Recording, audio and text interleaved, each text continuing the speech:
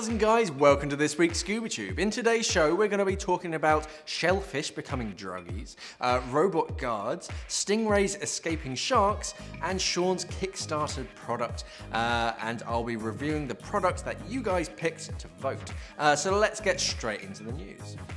Where there's humans, Mark, there's waste. Uh, lurking beneath the waves, there are streams of human waste flooding into the sea. Yummy! now, sometimes this water has obviously been cleaned, filtered, and treated so it's safe to go into the water, but sometimes it's not. No. Uh, so the cheeseburgers, pizza, and donuts that we all eat sadly ends up in the ocean.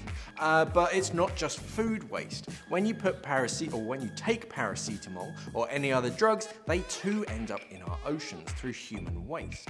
Uh, so scientists have been studying the effects that drugs could have to our oceans for years, and uh, and there has finally been a breakthrough. Shellfish. Yep, that's right. Shellfish. Because, Mark, they're stationary. And because of their stationary, uh, that means like mussels as well. Sadly, they've become test subjects in pharmaceutical pollution.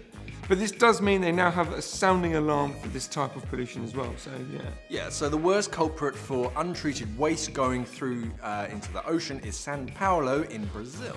Uh, so scientists have started homing their research uh, in that area. Drugs like painkillers, birth control, antibiotics, and even estrogen mimics uh, have. What? Estrogen mimics that's, that's a drug, estrogen mimics. Oh, is it? that's a drug, yeah. Oh, okay, estrogen mimics. Uh, have altered how shellfish, shellfish, uh, have grown in the waters. Yeah, now of course this isn't just happening in Brazil, it's happening all over the world. And the more drugs that get pumped into the ocean, the worse it's gonna get. We may even start seeing the effects of drugs in our waters for non-stationary marine life. Okay, so let's talk about something positive that is man-made. So Chinese technicians have created a robot to protect coral reef uh, in the South China Sea. That's cool. Yeah, uh, the underwater drone is 45 centimeters long uh, and 29 centimeters wide, so it's a decent, size. Um, the aim for the drone is to kill off not all starfish, I'm guessing certain starfish, like crown of thorns.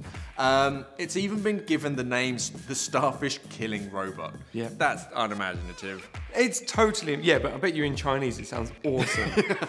it sounds awesome. So anyway, the coral reef in South China Sea is fragile just like any other reef in the ocean, but it does have a starfish problem and they love nibbling on the coral.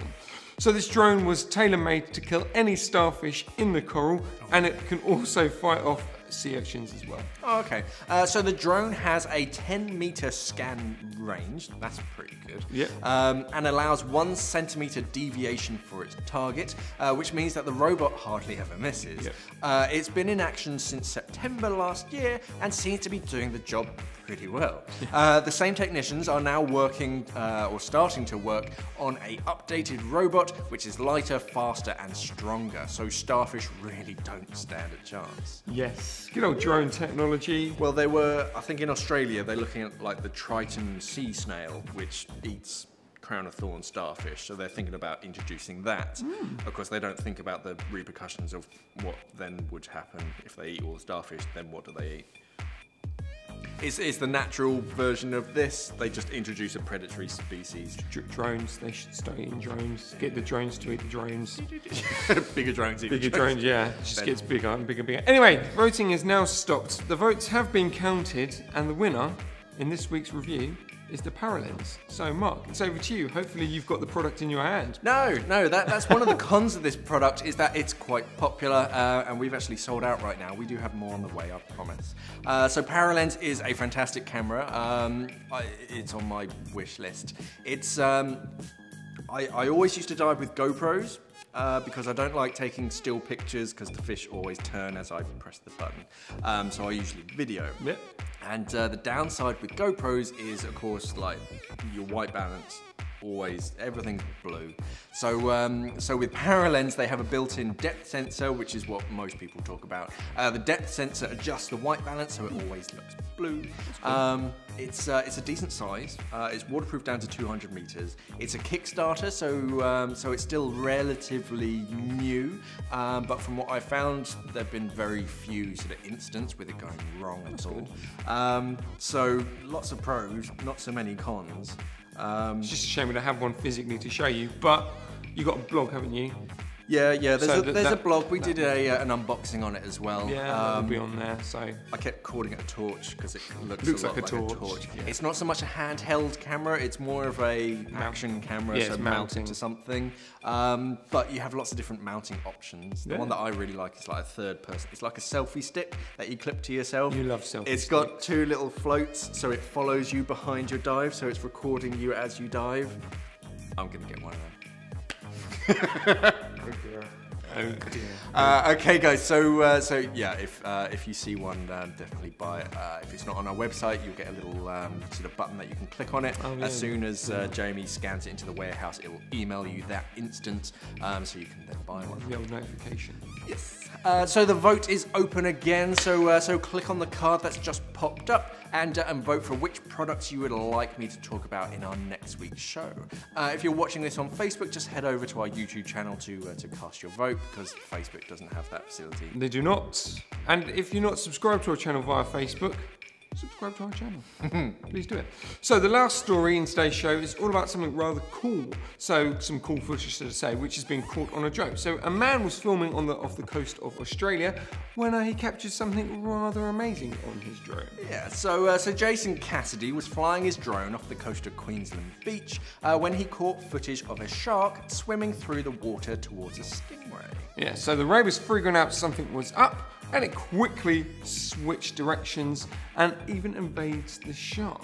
Uh, the, the ray was so quick though um, that I've completely jumped what I was saying. Jason, that's was it. Jason then tried to track the ray to see if the ray truly actually escaped from the shark, but it swam off so fast he was actually unable to chase it. Yeah, so uh, so I love videos like this where uh, nature is just kind of doing its thing. Yeah. There's no one in the water, kind of getting in the way. Drones decent way Yeah. up, and um, drones are really sort of opening up the way we sort of film stuff and way we actually see things. Yeah, yeah. There are a lot of those footage of people like swimming in the beach, and uh, there's like a six foot shark just Yeah, cruising They're around. completely and utterly oblivious to what's going on. You just got some guy going, I'll just take some nice footage of the sea. Oh, okay. And Get they- out of the water! yeah, like literally, well, they're doing that in, um, I think it's in Australia. Like, obviously, you have shark watches and stuff like that, but they're using drones to track the sharks. Yep. Yeah, it's really cool. There, it's are, really there are cool. some with um, uh, what you call it, like life preservers, Yes. life rings. I think we, that was a weird. I think we did that in a weird Wednesday last Yeah, year. I think it saved its first person the other day, so it's working. Uh, okay, so Sean, you picked this week's Kickstarter. Uh, so what do you got for us? Uh, the AirBuddy. Talk about the AirBuddy. and that's it. That's week. it. Yeah, no, it's it's basically so it's another one of those kind of breathing mechanisms. So It's like Snoober, but Yeah, rather Personal. than yeah, rather than the gas canister or the air canister, sorry, or the, the canister in your mouth with obviously with the regulator or whatever attached, or you know you velcroing it to yourself, it actually stays buoyant above the water. So it's mm-hmm. again aimed at shallow dives, or if you want to just snorkel and go down a bit deep and you know have a bit more bottom time. yeah, it's basically a compressor that sits on a tiny little float.